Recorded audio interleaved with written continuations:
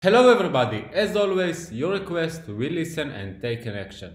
So Bluecare Express for all of the tracking numbers from Amazon is here and you are able to use this now in AutoDS for both automa automated orders and manual orders which you just use us for uh, tracking number updates. So let's see how it works, how to configure it and how, how can it help you. So first of all I go to AutoDS, I'm going to the uh, monitors page then I go to the orders processor. You must have the orders processor feature uh, to have this uh, work for you. And here we can see use Bluecare Express on all tracking numbers. So how does it work? First of all, uh, we can read here and see how it works, but I will explain on this video how it works. So, as I said before, uh, Bluecare Express is now you can enable it for all of the tracking numbers for both manual orders, which you just use for tracking number updates, and automated orders. So for the manual orders, uh, the tracking number will be updated if you set, if you put the number of the order of Amazon here. If I go to the orders page,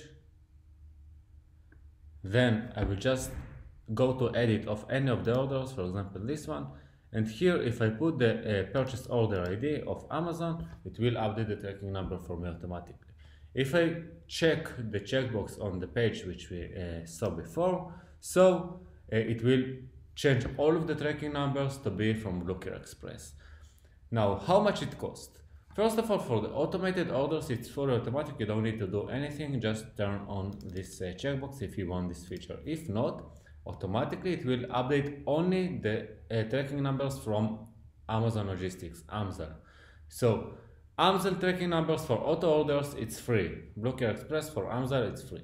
For any other case like manual orders uh, or automated orders for other suppliers which are not AMZL, it will cost you one third uh, credit per order. It means that it will use the same automated order orders credits but it will take one third of this per tracking number. So let's say that I'm working with uh, manual orders, I'm not using the auto orders, but I have AMZL tracking number, I will pay this uh, one third per tracking. If I use auto orders, uh, so for AMZL, I will not pay anything, only the credit of the auto order. And for any other tracking number, it will cost me one third uh, credit. I hope that you like this feature. Write, write us in the comment what do you think about this feature uh, because I know that many of you really waited for this feature. Uh, and that's all. Actually, you just need to turn it on if you want to use this feature. If not, it will just continue to update the tracking numbers as usual without any Bluecare Express. And for auto orders, the Bluecare Express for Amazon will be free.